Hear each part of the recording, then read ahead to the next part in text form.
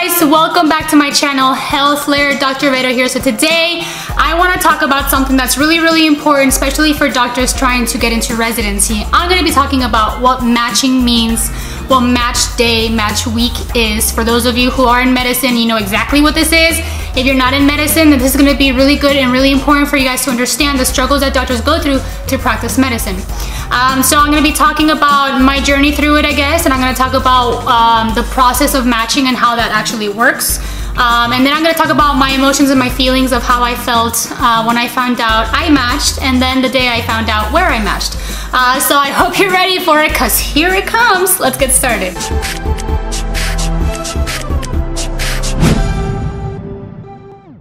So here is what's important to know, crucial actually. Medical students who graduate from medical school, if they do not match, they cannot practice medicine.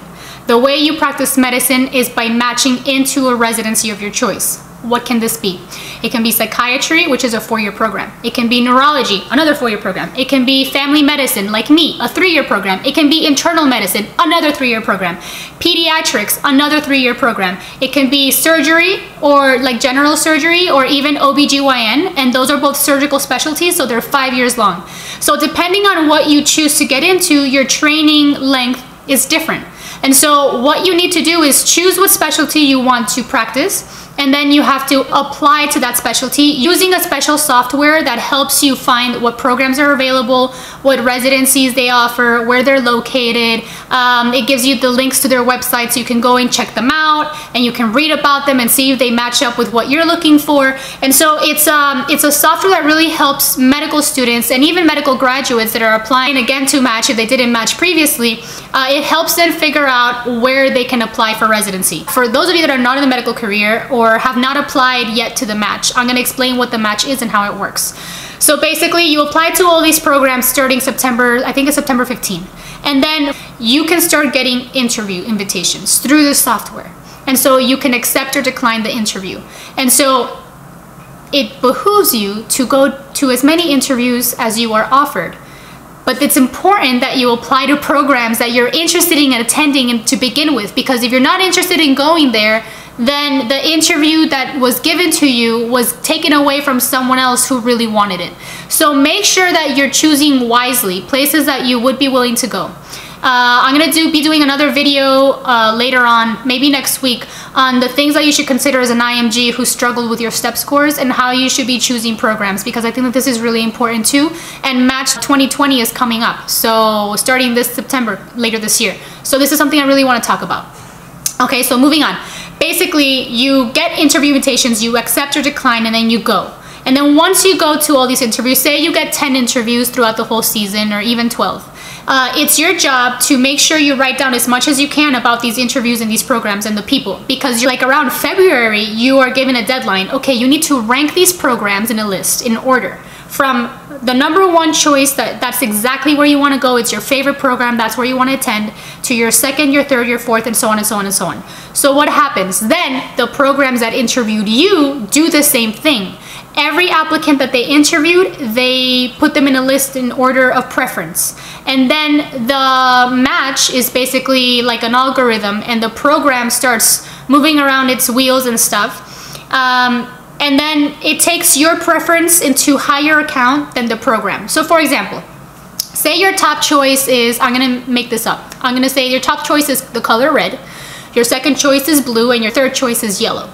Um, if the color red, they have eight positions available and they set you as number one, and the color blue sets you at number one, and the color yellow sets you at number one, but you put red first, that is where you go. Now, if the color red put you at number eight, and blue put you at three and yellow put you at three, you still go with red because you put red first and you fell into their match list in red as well. So as long as you're in their top eight, if that's how many positions they're offering, and you put them first, that's where you're going. Okay, so it's kind of like a match. Someone said it was funny. Someone's like, oh, it's like Bumble and Tinder. If you if you swipe and they swipe and you match, sort of. Yes, it's a little bit more scientific than that, but kind of. And so it's really important that you rank programs not in the way that, oh, I really think I'll, I'll, I'll get the job here if I put this one first. Don't do that. because it's gonna take your preference into account. So put the one you really want as number one. So uh, my number one was a program that was here in Miami because I wanted to stay close to home. And then once I knew that all my other interviews were outside of Florida, I was like, okay, now it just comes down to the belief system of the program, the faculty, the staff, and the residents. And that's why I chose my program, South Baldwin Hospital in Foley, Alabama, as my number two choice because they basically said exactly what I put in my personal statement. And so that to me was very important. So I matched with them and I'm really, really excited. I can't wait to start. I start in July. So after you submit your rank order list, which is in February, you have to wait until March to find out. This is like the most nerve-wracking experience of your life because you've done everything you could up to that point. You went to the interviews, you did as well as you could to explain who you are, to give them a view into your life and what you believe in and how you will how will you add to their practice basically. And there's nothing else you can do except wait. And the waiting part is the worst part of the entire thing because it starts giving you anxiety. Um, I know that during the first few weeks after I submitted my rank list and I couldn't make any more edits to it, which is I think February 20th, um, I couldn't change it anymore. So that was the final order. So when that happened, I was very nervous because I said, I hope I didn't make a mistake. And you start second guessing because you start getting that fear. Don't second guess yourself. The way you order the list is how your instincts are telling you that you should order your list. And that is what you should follow. Follow your gut. Follow your heart. Don't rank programs the way anyone else says. Just follow what you feel inside. Okay, and that's very hard to do because you're afraid, right? That fear is destabilizing. Okay, so then you're waiting until March. Now, this is the really annoying part, okay? So the Monday of match week, they send you an email and they say either congratulations you've matched or they say sorry you failed to match. Now I've received that sorry I failed to match email before and it is crushing. I know exactly how that feels. I've been there but there is light at the end of the tunnel. So that's not the end. It just means mm, this is not the path for you. Go around the obstacles. So you're gonna have to take a little longer journey to get there, but you will get there. So what is the match exactly? How does that work? It's a mess. It's it's the most intense time of a medical student or a medical graduate's life. It is nerve-wracking you start self-doubting. You start wondering whether or not the interviews you went on were good interviews. You start doubting the connections you made with the people you had in the interviews. You start second guessing yourself and your and your choices because you're afraid. Um, and for me first as someone who had been through the match twice before i was terrified. And so um, i think that that feeling of fear is normal. I felt it every year that i applied uh, but more so this year. But i think that those feelings of fear it's because if you don't match you're losing something that you've worked for a very long time for. And so for me giving up on the dream was never an option. So i kept trying to to do things to improve my chances to improve my the way that the program would see me to improve my my my basically my qualifications as a candidate um, and so that's what I did when I didn't match the first time. And then I did it even more when I didn't match the second time. And then this third time around, I did match. And so I feel uh, like I'm very grateful and I'm very proud. And I'm trying not to get emotional because um, you guys are going to think I'm a crybaby, but I shared my stories on my Instagram. I shared the day that I found out I matched. I shared my emotions and how I felt. And it it makes me nut up because it's something that when you've worked for something your whole entire life because since I was little I always wanted to do medicine. So when you've worked for something your whole entire life high school and college and all these things and then you apply to medical schools and there's a fight and you go to medical school and you graduate and then to not to be able to practice medicine that to me was just shattering. Um, and I think that that's probably how a lot of medical students who don't match feel so for those of you who didn't match please don't give up on the dream. It's okay to be frustrated. It's okay to be angry. It's okay to have any emotion that you have.